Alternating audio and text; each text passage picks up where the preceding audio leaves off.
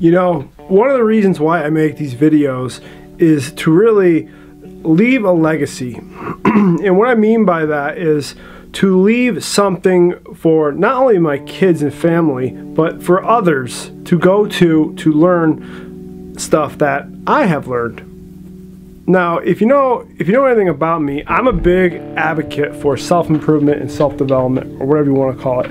I literally read hundreds of books and um, I'm always trying to learn and improve. So I just think that it's it wouldn't be right for me just to read and learn all these golden nuggets and valuable information and not share it with others.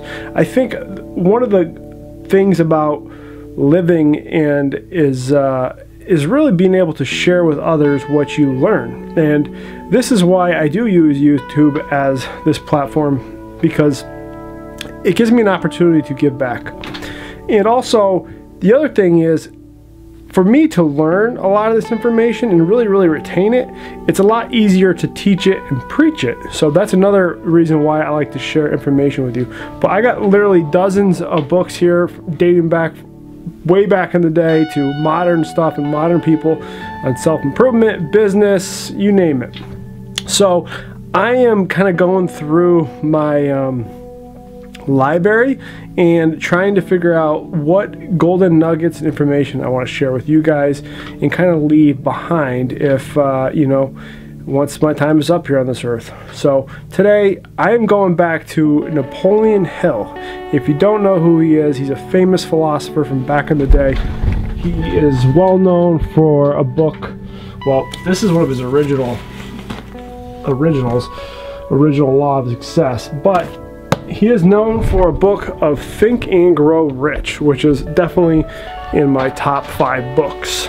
But um, today, I found some audio I want to share with you, and it's by him. It's back in the day, him presenting it to a crowd, and it's called The 10 Powerful Rules of Self-Discipline. It's got a lot of great lessons in here, a lot of great value, and I'm going to share it with you. So enjoy. If you guys like this stuff, give me a thumbs up, leave a comment, and make sure you subscribe to the channel because this is a new playlist, and it's going to be learning lessons from the past. People who have left their mark, well, I'm going to share that mark with you guys. All right, guys, enjoy. I'm going to give you 10 rules for profitable self discipline. These are rules of my own making. They're very homely, some of them, but they'll be very helpful. And number one is keep cool when other people get hot. I know you can agree with that one, but I'm not so sure that you'll always live up to it. We're inclined, all of us, to get hot when the other fellow gets hot. Say angry things when the other fellow starts saying angry things. I was in the home of the president of a big electric power company one evening when there came a storm, and he called up one of his head men to go out to take care of an emergency that happened as a result of that storm.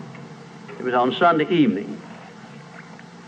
The man was gone about two hours, and when he came back, he came up on the front porch of the home of this man and called him out on the porch, and I never heard a man get such a tongue lashing in all my life as this president of the electric power company gets.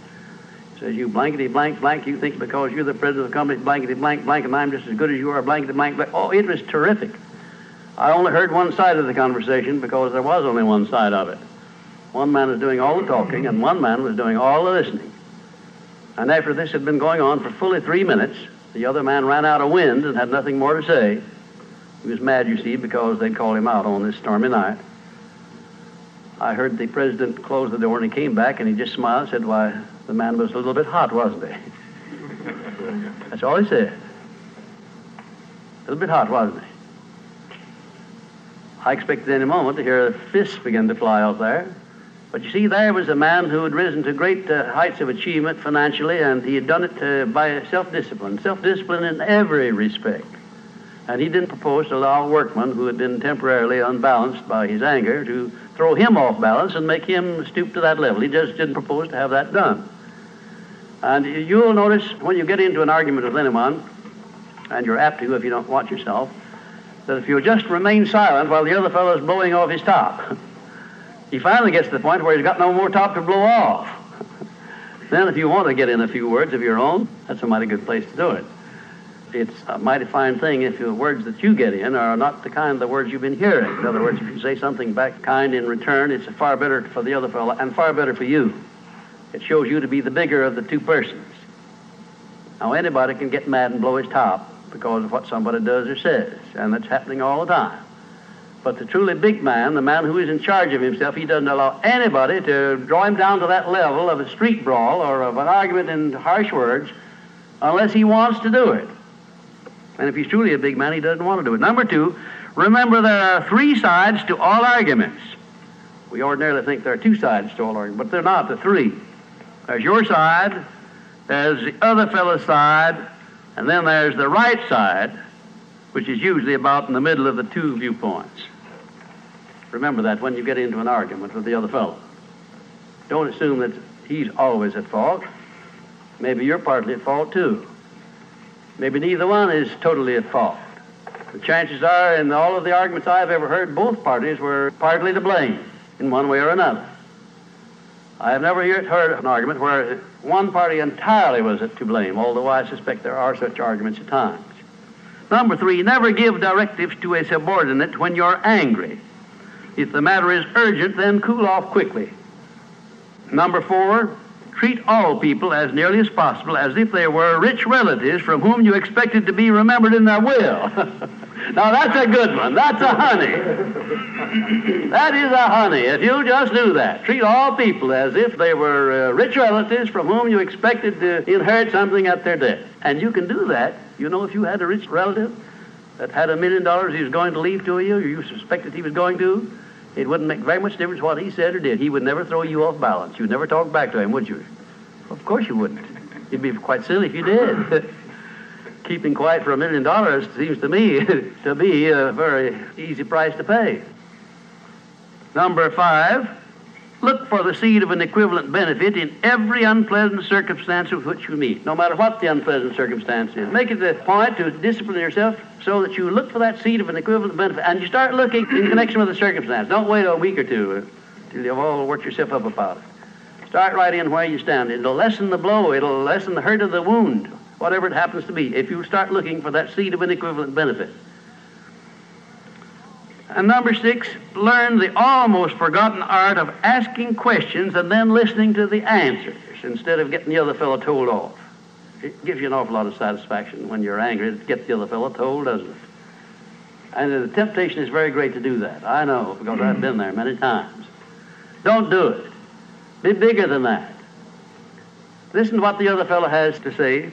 And then when somebody makes a statement that you're not sure about, learn to ask this one question. It's one of the most important questions in life. It'll serve more purposes than any other short question that I can think of.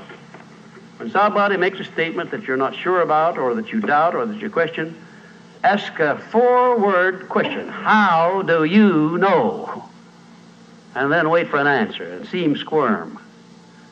Oftentimes there is no answer. People make wild statements that they can't back up. And instead of getting into an argument and making an incident out of the matter and getting yourself worked up into an argument, let the other fellow stew in his own fat by putting him over the barrel. But that question, how do you know? I had a clergyman in my class once who was very, well, I just don't know exactly how to describe him. He was a, a fanatic, you might say, on the subject of religion. And he was sure that he knew exactly what was going to happen to me after death. He said so in no uncertain terms, not in the class, but in a private conversation. And uh, he raved and ranted for quite a little while about it. And when he got through, I said, How do you know, Parson? And that really put him over the barrel. He said, That's the way I feel about it. That's my faith. I said, Well, now, having, uh, belief and faith is one thing, but having evidence is something else again. How do you know what's going to happen to me after I die? I don't know, and I doubt that you do. How do you know?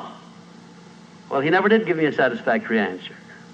There are a lot of questions that come up in life in connection with which, if you'll ask that one thing, how do you know, you'll find that the other fellow will be off balance and you don't need to make an incident out of what he says. You don't need to get mad at what he says.